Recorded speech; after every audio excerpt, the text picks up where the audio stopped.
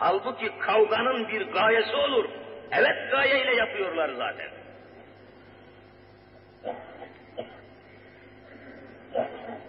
Hoca Nasraddin merhum, hepiniz biliyorsunuz.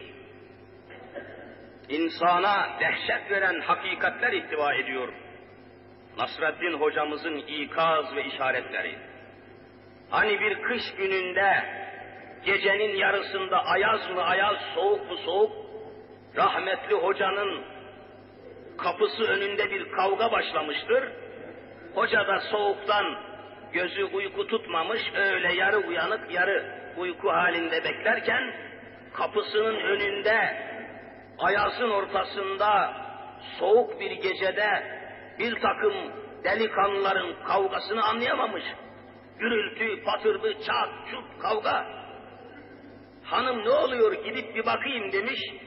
Sırtına yepyeni, daha cedid, taze, yeni yaptırdığı yorganını sırtına alarak aşağı inmiş, dışarı çıkmış. Hey evlatlarım, yavrularım, gecenin yarısında bu soğuk ayazda kavganızın sebebi nedir? Durun bakalım, hele yapmayın, hele etmeyin demeye kalmadan bir hücum hocanın sırtından yorganını almışlar, sıvışıp gitmişler.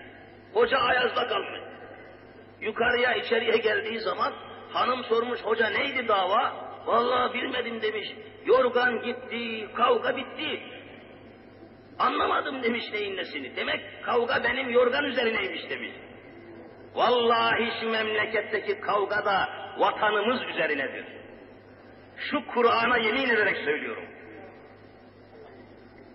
Şu memleketteki kavganın kökünde bu toprakların bu şehit kanlarıyla sulanmış bu mukaddes toprakların İslam topraklarının elimizden alınması davası yapıyor. Bunu kimse inkar edemez. Yapmayalım. Aklımızı başımıza alalım. Ve mutlaka derlenip toparlanmaya çalışalım. Okullarımızı, mekteplerimizi, üniversitemizi yeni baştan kuralım